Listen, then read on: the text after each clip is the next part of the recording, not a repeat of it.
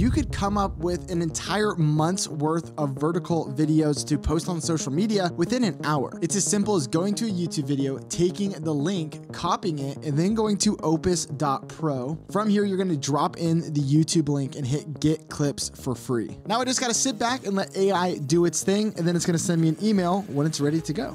So it took about eight minutes and I got the email and now I have 12 different videos all ready to go for social media. The real question is, are these videos actually good? Before I show you what the videos actually look like, it's really important to know who this is gonna work best for. So on their website, you can see that the algorithm works best for videos that are conversation driven, single speaker videos, and longer than 15 minutes. But don't worry, this is still gonna work on a podcast where you have two different people talking to each other and having a conversation. Now you can also use videos that are gonna be shorter than 15 minutes, but they recommend it's longer than 15 minutes because then it has more video and more content for it to sort through to pull more clips out of. So some examples of videos that it's going to work well with are going to be video podcasts, educational videos, commentary videos, product reviews, and motivational speeches. And this is not going to work super well for the person who is trying to repurpose their vlogs or music videos. Now, with that being said, here's basically how the Opus AI works. Here at the top, we can see the first video labeled number one. It gives us a very nice title, and then it kind of tells us why it has a score of 99.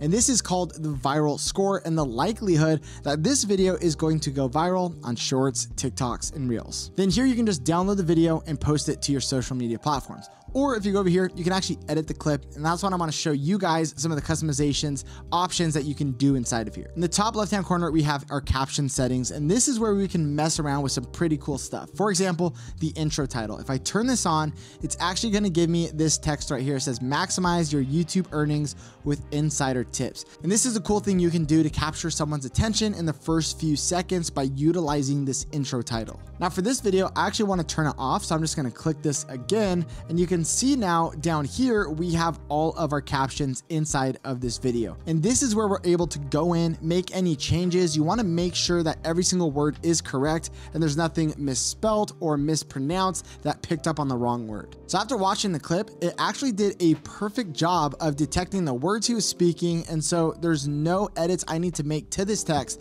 But if it happens for you, all you need to do is hover over the word. Let's say money is spelled incorrectly. Once you click on money, you you can either go up here to the pencil and you can change this to let's say we want to say moolah and then you hit enter and that's going to update down here so it says how much moolah we have but i'm going to change it back by putting money back in here. The other cool thing you can do is change the color of the text to really make this word pop. So for example let's say i want to make it green i can just simply hit that or i can make it yellow. I can also trash this word by hitting the trash can. If i didn't want to do that i'll go ahead and hit this undo button. You can customize this even more if you go into preferences once everything is correct and all the captions look good, you can go over here and you can actually choose a different caption style. On the free version, this is the only caption style, but if you get the paid version, you can actually have custom brand templates that you can build out to make it a lot cooler with different text and different styles. But even with the free version, you still can choose two different colors to highlight words. So if you want to change it from green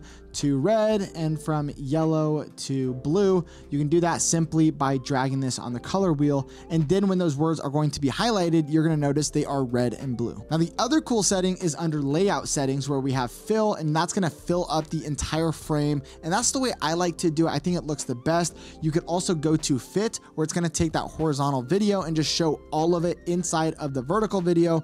And for some use cases, this would be super helpful and might work for some of you guys out there. But but the other option is split. And this is when you have two people inside of the frame. I actually use this setting on a podcast interview that Sean did with a guest. And because we had three different angles, when it cut to one angle where there's just one person in the shot, it doesn't use the split, which is perfect. And then when it cut to the wide angle where both of them are in the shot, it goes to the split automatically. And this is really cool and super helpful. And then down here, you also have all uppercase. You can do all lowercase. You also can turn auto emojis on or off. I personally like them on, so I'm gonna leave that checked. Once everything looks good, you're gonna go to save and compile. And this is just gonna save everything for you. It's gonna reload some of these new settings with the new text options. And then once that is done, you can download that video. So buckle your seatbelt. And I'm gonna be revealing how much money we have made at Think Media over the past 90 days and some of the insights we've learned from the different types of content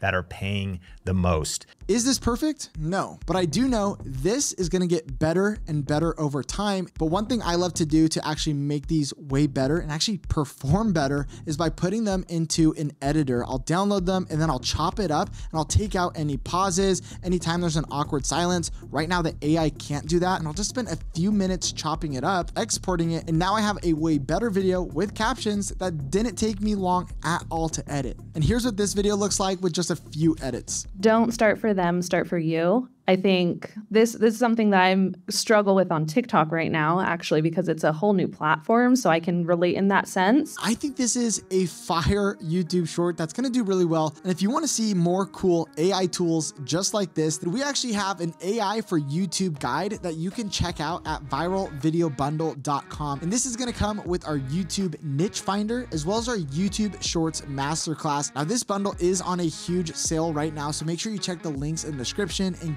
get it before it's gone.